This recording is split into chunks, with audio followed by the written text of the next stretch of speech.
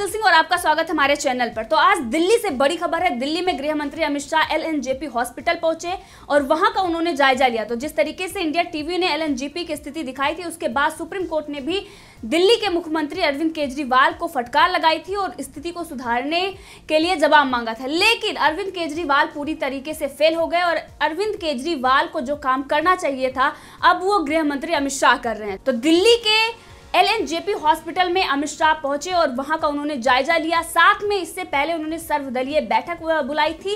36 घंटे से गृह मंत्री अमित शाह दिल्ली पर नज़र बनाए हुए हैं और जिस तरीके से दिल्ली की स्थिति भयानक बनी हुई थी, अब उन्होंने भरोसा दिया है कि जल्द ही दिल्ली की स्थिति में सुधार होगा और किसी को भी डरने की ज़रूरत नहीं है क्योंकि अब कमान गृह मंत्री अमित शाह ने अपने हाथों में ले ली है। और अरविंद केजरीवाल की बात करें तो दिल्ली में अरविंद केजरीवाल पूरी तरीके से फेल हो गए संजय सिंह ने आज सर्वदलीय बैठक में में भाग लिया, क्योंकि सर्वदलीय बैठक में गृह मंत्री अमित शाह ने सभी दलों को बिठाकर बातचीत की और इस बैठक में जिस तरीके से अहम फैसले लिए गए, वहीं पर बीजेपी ने मांग की कोरोना टेस्टिंग को लेकर कि 50 परसेंट तक जो टेस्टिंग चार्ज है उसको कम किया जाए। ये भी गृह मंत्री ने स्वीकार कर लिया और वहीं पर कोरोना टेस्टिंग को लेकर गृह मंत्री अमित शाह ने कहा कि अट्ठारह कोरोना टेस्टिंग रोज़ाना होंगी और 50 परसेंट तक के चार्ज में कमी जो प्राइवेट हॉस्पिटल है, जिस तरीके से मनमानी कर रहे थे दिल्ली में, जो तस्वीरें सामने आ रही थी, उस पर लगाम लगाने के लिए, क्योंकि बीजेपी के प्रदेश अध्यक्ष आदेश कुमार गुप्ता ने इसकी मांग की थी और गृह मंत्री ने इसको स्वीकार कर लिया। तो आज दिल्ली की राजधानी, दिल्ली में कोरोना के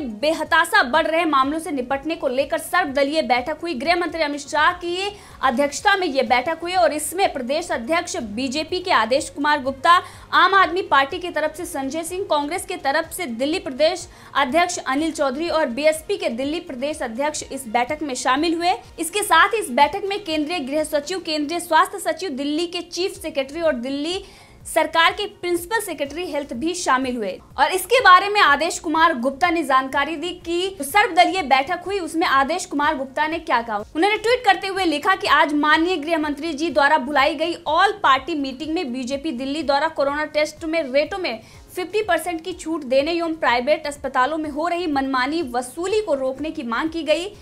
श्री अमित शाह जी ने शीघ्र ही मांगे पूर्ण कराने का आश्वासन दिया और वहीं आपको बता दें कि पॉल कमेटी जो गठित की गई है, वो दो दिन में इन जो कोरोना टेस्टिंग के चार्ज हैं, इसको लेकर दो दिन में अपनी रिपोर्ट सौंपेगी और वहीं पर गृह मंत्री अमित शाह ने भी ट्वीट करते हुए कहा कि दिल्ली के राजनीतिक दलों के साथ दिल्ली में कोरोना संक्रमण के संदर्भ में बैठक की। इस समय सभी दल राजनीतिक द्वेष भुलाकर प्रधानमंत्री मोदी जी के नेतृत्व में दिल्ली की जनता के हितों के लिए काम करें। सभी दलों की एकजुटता से जनता में विश्वास बढ़ेगा और कोरोना के विरुद्ध लड़ाई को बल मिलेगा। और वहीं पर आपको बता दें कि गृह मंत्री अमित शाह ने जिस तरीके से एल का दौरा किया और वहाँ पर स्थिति का जायजा लिया, इससे ये साफ़ नज़र आ रहा है कि गृह मंत्री अमित शाह दिल्ली की जो हालात उसे सुधारने के लिए पूरी कमर कस ली है और अब केंद्र सरकार इस पर सख्त नज़र आ रही है। मोदी सरकार ने जिस तरीके से अपने हाथों में कमान ली और अब दिल्ली की स्थिति में सुधार होने की संभावनाएँ हैं और ये बहुत बड़ी राहत की खबर है दिल्ली वासियों के लिए और वहीं पर केजरीवाल की सबसे बड़ी नाकामी है। केजरीवाल जिस तरीके से राजनीति कर रहे थे, इस वक्त तीन महीने से ज़्यादा का समय हो गया। अगर व्यवस्था की बात करें तो केजरीवाल ने कोई भी व्यवस्था नहीं की है। वहीं पर अगर अन्य प्रदेश की बात करें, वहीं पर बगल में ही उत्तर प्रदेश है, वहाँ पर जिस तरीके से तीन महीनों में जिस तरीके से कोरोना वायरस से लड़ने के लिए जो व्यवस्थाएँ की गई चाहे वो बेड की कमी को पूरा करने के लिए एक लाख बेड का जो उन्होंने इतिहास बनाया, जो रिकॉर्ड बनाया, वो देखने लायक था। वहीं पर दिल्ली में तीस हज़ार बेडों के जो दावा कर रहे थे अरविंद केजरीवाल, वो आज जिस तरीके से फेल और नाकाम नज़र आ रहे हैं, अब केंद्र सरकार ने अपने हाथों में कमान लेकर अब दिल्ली की स्थिति को सुधारने का पूरा संकल्प ले लिया है। केजरीवाल पूरी तरीके से दिल्ली में नाकाम है और वही बात करें संजय सिंह और मनीष सिसोदिया की तो वो जिस तरीके से बातें करते हैं, संजय सिंह दावा करते हैं कि पंद्रह टेस्ट रोज़ाना हो रहे हैं, लेकिन जो हकीकत सामने आई है, वो आप सबको पता है कि पाँच टेस्ट हो रहे थे और सुप्रीम कोर्ट ने लताड़ भी लगाई थी, जिसके बाद अगर टेस्टिंग की बात करें तो अभी सात हज़ार तक टेस्ट हो रहे हैं, लेकिन अब गृह मंत्री अमित शाह ने अपनी कमान जो दिल्ली की है, वो कमान अपने हाथों में लिए, उसके बाद अब टेस्टिंग बढ़ रही है। सात हज़ार तक गई है, लेकिन अब उन्होंने कहा है कि अट्ठारह हज़ार तक टेस्टिंग बढ़ाई जाएगी, यानी कि प्रतिदिन अट्ठारह हज़ार टेस्टिंग की जाएगी। और जिस तरीके से गृह मंत्री अमित शाह ग्राउंड पर जाकर जो स्थिति है उसका जायजा ले रहे हैं तो इससे ये देखा जा सकता है कि अरविंद केजरीवाल जो एडवर्टाइजमेंट में बिज़ी हैं, जो प्रेस कॉन्फ्रेंस करने में बिज़ी हैं, वो बैठकर कैमरे के सामने सिर्फ़ और सिर्फ़ टीवी चैनल और अखबारों में नज़र आ रहे हैं और दूसरी तरफ़ गृह मंत्री अमित शाह ग्राउंड पर नज़र आ रहे हैं। तो ये देखने वाली बात होगी कि दिल्ली का मालिक जो अपने आप को कहते थे कि हम दिल्ली के मालिक हैं, आज वो दिल्ली के मालिक पूरी तरीके से नाकाम है और वो सिर्फ़ और सिर्फ़ कहने के मालिक रह गए हैं। आज वो जनता का अगर पैसा हड़पने की बात आती है तो अरविंद केजरीवाल सबसे पहले आ जाते हैं और कहते हैं कि हम दिल्ली के मालिक हैं, लेकिन दूसरी तरफ़ अगर कोई संकट आता है दिल्ली की जनता पर तो अरविंद केजरीवाल हाथ खड़े कर देते हैं। मनीष सिसोदिया कहते हैं कि एलजी ने जो हमारा फैसला बदला, जो तुगलकी फरमान अरविंद केजरीवाल ने दिया था, उसको एलजी ने जब फैसला उनका पलटा, उन्होंने कहा कि पूरे देश के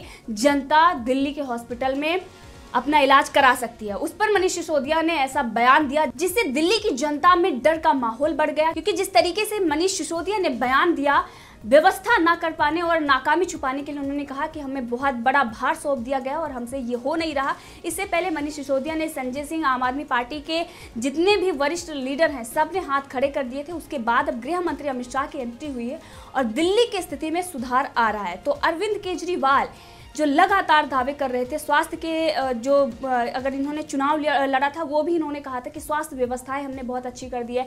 मोहल्ला क्लिनिक की पूरे पूरे देश में मोहल्ला क्लिनिक की तारीफ़ हो रही थी। यहाँ तक इंटरनेशनल मुद्दा भी बनाया जा रहा था। लेकिन जिस तरीके से आज पोल खुली है अरविंद केजरीवाल की, ये देखने वाली बात होगी कि अरविंद केजरीवाल सिर्फ़ और सिर्फ़ झूठ की राजनीति कर रहे हो और यहाँ पर कांग्रेस जिन्होंने चुनाव में उन्होंने बैक सपोर्ट किया था, आज वो आरोप केजरीवाल पर लगा रही है, क्योंकि उसको पता है कि आज जनता देख देख रही है और जनता सवाल उठा रही है अरविंद केजरीवाल पर। आम आदमी पार्टी पर किस तरीके से उन्होंने दिल्ली हिंसा में बढ़ चढ़ हिस्सा लिया? अगर दिल्ली हिंसा में सबसे ज़्यादा किसी का नाम आ रहा है तो आम आदमी पार्टी के नेताओं का और वहीं दूसरी तरफ़ अगर संकट दिल्ली पर आया पड़ा है, इस वक्त महामारी फैली हुई है, उस वक्त अरविंद केजरीवाल और उनकी आम आदमी पार्टी की पूरी टीम नाकाम हो गई है और अपने हाथ खड़े कर दिए हैं। तो ग्राउंड पर अरविंद केजरीवाल को जाकर जायजा लेना चाहिए था, उनको काम करना चाहिए था, लेकिन उन्होंने नहीं किया। इससे पहले एक तस्वीर आई थी राघव चड्ढा की, मनीष सिसोदिया की, जिन्होंने सैनिटाइजेशन करते हुए अपनी पिक अपलोड की थी। और वो दिखाने की कोशिश की थी कि हम दिल्ली में बहुत अच्छा काम कर रहे हैं। वो सिर्फ़ और सिर्फ़ एक तस्वीर थी और तस्वीर खिंचवाने के लिए उन्होंने नया कुर्ता राघव चड्डा ने निकाला था जिसके बाद लोगों ने उनको खूब ट्रोल भी किया था कि सिर्फ़ और सिर्फ़ ये दिखावे की राजनीति है। असली हकीकत अब सामने आई है जब दिल्ली की जनता त्राही त्राही कर रही है। अस्पतालों में जगह नहीं है। सुप्रीम कोर्ट ने भी फटकार लगा दी है कि जिस तरीके से दिल्ली में आज स्थिति है, जानवरों से भी बदतर हो गए हैं दिल्ली के जो मरीज़ हैं, वो जानवरों से बदतर भी उनकी स्थिति हो गई। कहीं पर कूड़े से शो निकल रहे हैं कहीं पर गटर में पड़े मिल रहे हैं और दूसरी तरफ़ बेड ऐसे मरीजों से भरे पड़े हैं, लेकिन वहाँ पर डॉक्टरों की भारी कमी है। केजरीवाल एडवर्टाइजमेंट करने के लिए पैसा खर्च करते हैं, लेकिन सैलरी देने के लिए उनके पास पैसा नहीं है। जिस तरीके से अरविंद केजरीवाल दिल्ली में राजनीति कर रहे थे, एक टाइम था दिल्ली के मालिक, अरविंद केजरीवाल ये कह रहे थे, हम दिल्ली के मालिक हैं और दिल्ली में पैसे की कमी नहीं है। दिल्ली में बहुत पैसा है रेवेन्यू सरप्लस में है, लेकिन इस कोरोना वायरस की महामारी में किस तरीके से वो केंद्र सरकार से मदद मांगते हैं? तो आखिर पैसा गया कहा? जो फ्री की राजनीति कर रहे थे, बिजली पानी फ्री दे रहे थे, अगर बात करें पानी की तो जनता सड़कों पर है। इसी से आप देख सकते हैं कि पानी कितना फ्री है। दूसरी तरफ़ बिजली के जो बिल लोगों के आ रहे थे, वो दिखाया जा रहा था कि किस तरीके से कॉमर्शियल जो जिनकी शॉप थी शॉप बंद पड़ी है, उसके बाद भी हज़ारों हज़ारों का, लाखों लाखों का बिल लोगों के पास आ रहा था। तो ये बहुत बड़ा भ्रष्टाचार दिल्ली में फैला हुआ था और ये भ्रष्टाचार इस वक्त भी है जब महामारी फैली हुई है और इस वक्त सभी पार्टियों को एक साथ काम करने की ज़रूरत है। लेकिन अरविंद केजरीवाल ने जो नाकामी अपनी दिखाई है, हाथ खड़े किए हैं, ये जनता उनको जवाब देगी आने वाले चुनाव में, क्योंकि ये फ्री की जो राजनीति अरविंद केजरीवाल कर रहे थे, एक तरीके से घूस देकर उन्होंने चुनाव जीता था। ये कहना गलत नहीं होगा, क्योंकि उन्होंने बस, बिजली, पानी फ्री का जो लोफ देकर जनता के वोट लिए थे, वो सिर्फ़ और सिर्फ़ छलावा था। आज जो स्थिति दिल्ली में है, वो देखकर जनता आज आक्रोश में है और दिल्ली की जनता के साथ साथ पूरा देश आक्रोशित है। और अरविंद केजरीवाल से लगातार लोग सवाल पूछ रहे हैं और आज इसीलिए कांग्रेस भी उन पर आरोप लगा रही है। इससे पहले हर मुद्दे पर कांग्रेस मौन समर्थन आम आदमी पार्टी को करती थी, लेकिन अब जब जनता देश की इस तरीके से मांग कर रही है कि अरविंद केजरीवाल को हटाकर यहाँ पर राष्ट्रपति शासन लगाया जाए, यहाँ तक कि लोगों का कहना है कि जब गृह मंत्री अमित शाह को ही दिल्ली की स्थिति का जायजा लेना है, अगर उन्हीं को काम करना है तो अरविंद केजरीवाल किस काम के हैं? अरविंद केजरीवाल केजरीवाल को इस्तीफा दे देना चाहिए और दिल्ली में राष्ट्रपति शासन लागू कर देना चाहिए। यहाँ तक कि ये भी लोगों का कहना है कि अरविंद केजरीवाल से अगर कोई बेटर काम कर सकता है तो वो है योगी आदित्यनाथ और दिल्ली में भी बीजेपी की सरकार आनी चाहिए, क्योंकि हमने देखा है कि उत्तर प्रदेश में किस तरीके से व्यवस्था है और दिल्ली के और महाराष्ट्र में जिस तरीके से अव्यवस्था फैली हुई है, ये देखने वाली बात है कि एक जगह पर तीन तीन पार्टियाँ होकर भी संभाल नहीं पा रही और दूसरी जगह पर जो अपने आप को दिल्ली का बेटा कहते थे, जो अपने आप को ये कहते थे कि हम दिल्ली के भलाई के लिए आए हैं, दिल्ली की सेवा करने के लिए आए हैं, आज उन्होंने हाथ खड़े कर दिए हैं। वो सिर्फ़ और सिर्फ़ दिल्ली का मालिक जो कहते थे कि हम दिल्ली के मालिक हैं, वो दिल्ली के मालिक बने बैठे हैं, लेकिन जनता, अगर वो अपने आप को मालिक समझते हैं तो जो जनता है, जो प्रजा है, वो आज त्राई त्राई कर रही है। लेकिन अरविंद केजरीवाल के कानों तक जू नहीं रेखती वो सिर्फ़ और सिर्फ़ बैठकर एसी रूम में और प्रेस कॉन्फ्रेंस कर रहे हैं। अखबारों में वो विज्ञापन देकर सिर्फ़ और सिर्फ़ एक तरीके की ऐसी राजनीति कर रहे हैं कि हम दिखेंगे। प्रवासी मजदूरों के साथ जो उन्होंने किया, वो पूरे देश ने देखा कि किस तरीके से डीटीसी की बस लाकर आनंद विहार पर उन लोगों को छोड़ दिया और जिसके बाद उनको यहाँ से जाने पर मजबूर किया गया। उसके बाद उन्होंने कई ऐसे तुगलकी फरमान किए। एक तरफ़ उन्होंने कह दिया कि दिल्ली में सिर्फ़ और सिर्फ़ दिल्ली वासियों का ही इलाज होगा, बॉर्डर को सील कर दिया जाएगा और अपनी नाकामी छुपाते रहे। कभी डॉक्टरों पर सवाल उठाए, कभी केंद्र सरकार पर सवाल उठाए। ये कहते थे कि बीजेपी यानी कि केंद्र सरकार, मोदी सरकार दिल्ली वालों के साथ अच्छा व्यवहार नहीं कर रही है। लेकिन आज अगर कोई अच्छा काम कर रहा है तो वो मोदी सरकार है। और आज गृह मंत्री अमित शाह दिल्ली की भलाई के लिए ग्राउंड पर उतर आए हैं। अपने स्वास्थ्य की चिंता ना करते हुए उन्होंने दिल्ली की जनता की चिंता की है। जिस तरीके से योगी आदित्यनाथ उत्तर प्रदेश को संभाल रहे हैं, उसी तरीके से गृह मंत्री अमित शाह आज दिल्ली को संभाल रहे हैं। आप भी इस मुद्दे पर अपनी राय रख सकते हैं। कमेंट करके ज़रूर बताएँ। अगर आपने अभी तक चैनल को सब्सक्राइब नहीं किया है तो कर लें ताकि आपको हर अपडेट मिलती रहे।